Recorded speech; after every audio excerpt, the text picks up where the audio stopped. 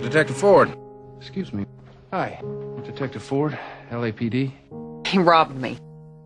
I would have just given it to him, but he kept hitting me. He was about five eight, blonde maybe, maybe brown hair. I, I don't know. I'm gonna assign a uniform to keep an eye on you.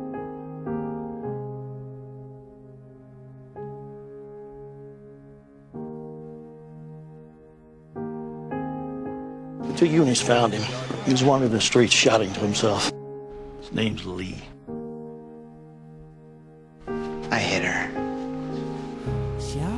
I hit her hard, and she fought. She was a bitch in heat, and she fought. Someone's got to file charges. She's still over at the hospital. You make sure she's okay. I'll keep her safe.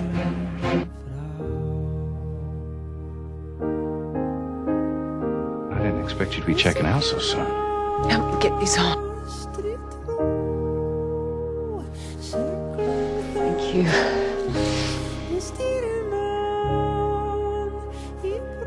But you and I know. Those cops out there, they don't know. He took my wallet. He didn't take anything else.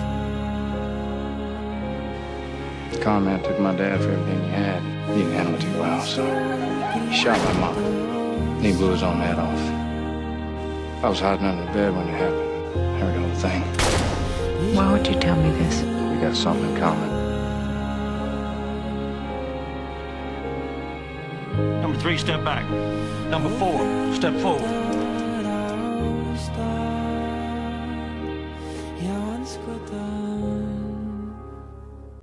Ms. King's first statement to the police was that she was robbed. Not raped, robbed. There is no way this office is going to charge Lee McHenry.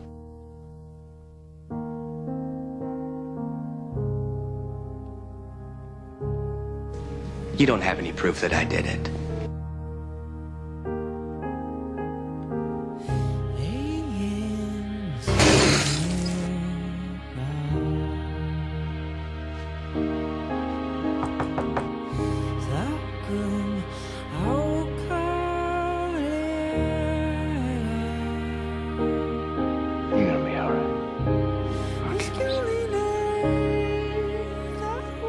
And the man who buys a compact 357, he's not looking to scare or steal. He's looking to kill. Is there something you want to tell me? That's none of your damn business. We're supposed to trust each other.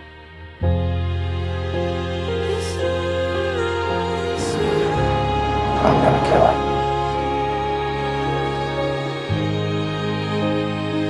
This business that you have, will it ease your suffering? Then what are you doing here? He shot I my hit mom. her. Let me I tell hit her hard, and she fought. It's dirty. She was a bitch in heat, and she fought. And he licks your face. I And he wipes himself off in your hair. I gave it to her so.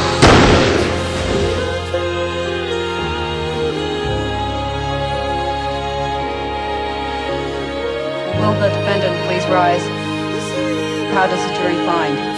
We find the defendant guilty.